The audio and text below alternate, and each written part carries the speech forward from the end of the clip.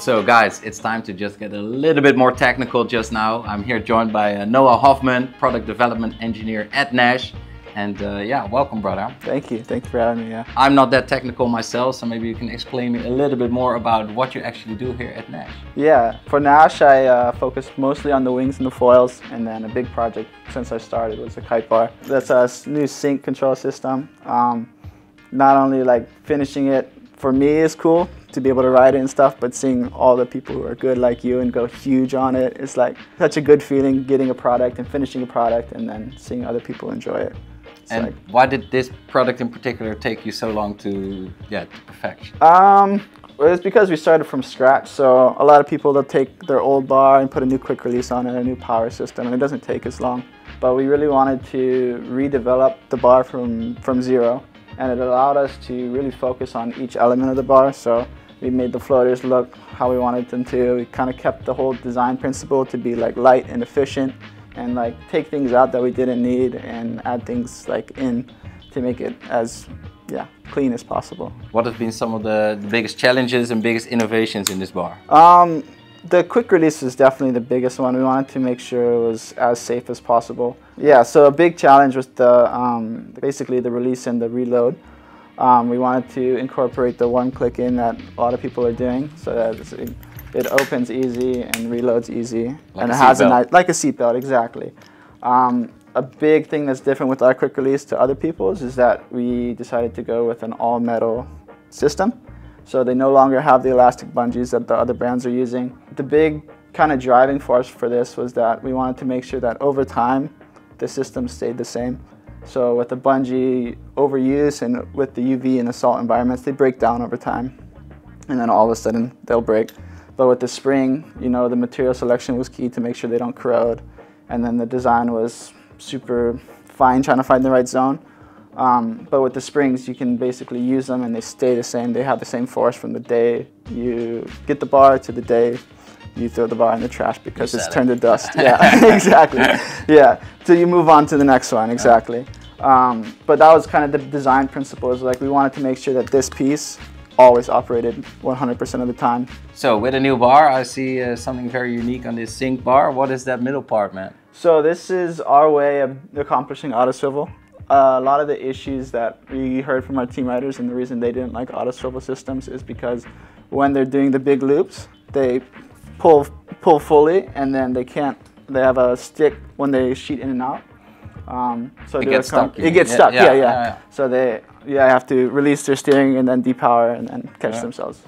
So what we wanted to come up with was an auto swivel system that still functioned like it was two power line bar, so like our, our, our torque system um, that had like it was super free and super easy to use, and then you get all the benefits of not having to deal with untangling your lines all session. Yeah, that's so annoying, like untangling yeah. every time after every rotation you do. So I think you see the, the swivel is in here, and then yes. that just keeps it absolutely straight. Absolutely straight, exactly. Sick. And so, functioning. And functioning, yeah, yeah. It's uh took a lot to make right. All the shaping and um, and yeah, the design process was tricky because if you have too much space, auto swivel doesn't work. If you have too little space, then it gets sticky and it's a mm. pointless system. So all through the different iterations, it, it, took a lot to get it to where it is, and yeah, we're all super stoked on how it come, came out. So a bit about the Naish bars, I'm not sure if you know, but we put a piece of EVA underneath to add some shape so that it fits your hands really well, and then it's also rolled like 15 degrees forward. So when you have the bar backwards, it hits a different part of your hand, and the more you kite, the more you like get used to the feeling. So if you like have a big crash or something and you grab your bar to recover, you can feel the, the difference between each side. Sick. So it's a way for people to very like, intuitive, even yeah, when you're not looking, like you can know yeah. what the right side of your bar yeah, is. Yeah, so not like for people, maybe not beginners because mm they don't know what the kite feels like or the bar feels like to begin with, but yeah. One thing that I've always ran into.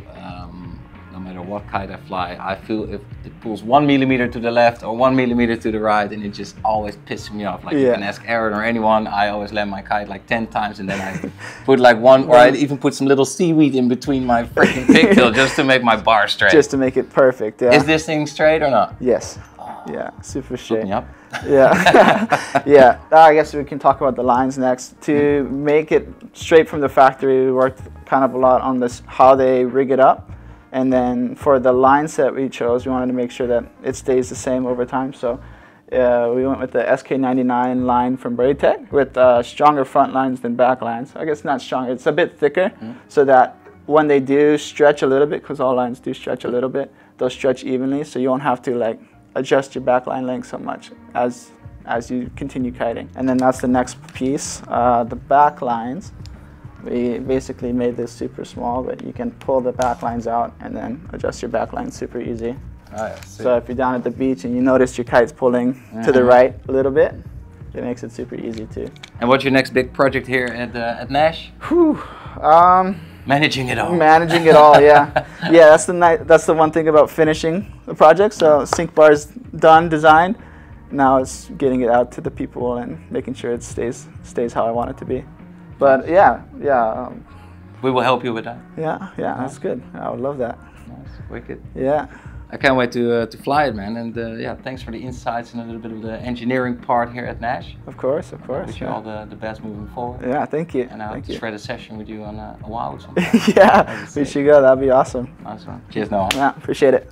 Guys, Noah Hofman here at Naish. Some more technical insights for you guys so you guys can uh, stay safe and sound because your life is hanging on the line. So make sure everything is in check before you send it.